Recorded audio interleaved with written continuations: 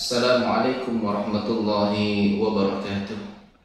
Suatu ketika baginda Nabi datang dari sebuah peperangan.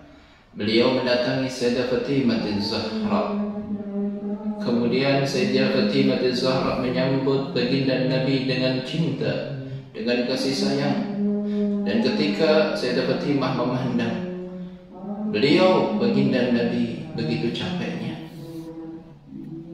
mati bakat saya dapati mati meneteskan air mata. Menangis beliau. Dan beliau mencium kening baginda Nabi dan mencium kedua mata baginda Rasulullah sallallahu alaihi wasallam. Kemudian faqala adalah Rasulullah. Kemudian Rasulullah sallallahu alaihi wasallam bersabda kepada Sayyidah Fatimah Zahra ya Fatimah mayukiki apa yang menjadikan engkau menangis? Kemudian Sayyidah Fatimah menjawab Bagaimana aku tidak menangis Wahai ayahku, wahai Rasulullah? Lihat keadaanmu. Pada syahaba launuka. Warna kulitmu.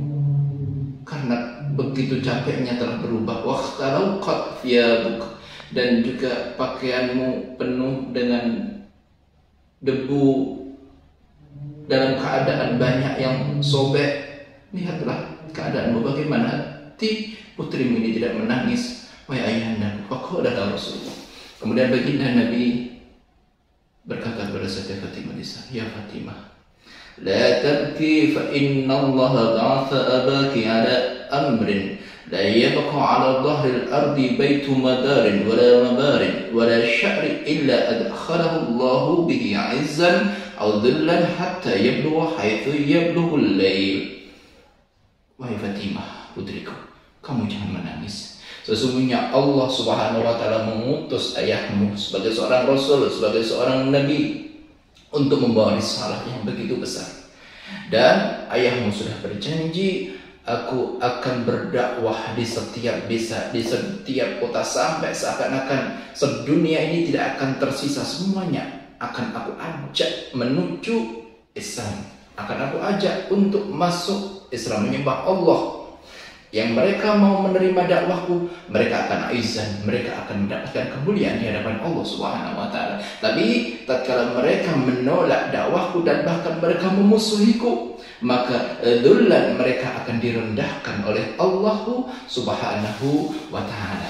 Coba kita pandang bagi dan Nabi. Begitu kuatnya dakwah Rasulullah SAW. Begitu kuatnya itikat Rasul kita, Nabi kita berjanji untuk dakwah di setiap daerah selagi kaki beliau mampu selagi waktu beliau masih ada beliau akan terus berdakwah berdakwah. Ayo kita semuanya wahai umat bagi dan nabi di mana pun berada ayo kita berjanji mewakafkan diri kita untuk meneruskan perjuangan nabi kita Nabi Muhammad sallallahu alaihi wasallam. Akhir kalam assalamualaikum warahmatullahi wabarakatuh